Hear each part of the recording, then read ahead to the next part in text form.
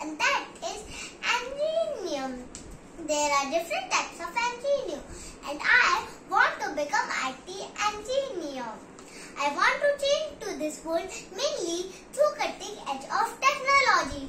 Friends, we all know that in the difficult time of COVID-19 we all are feeling connect via technology.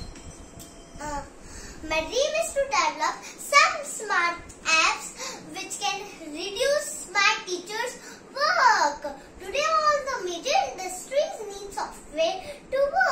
My dream is to design a compiler that can manually listen to instructions and perform tasks. This way, many efforts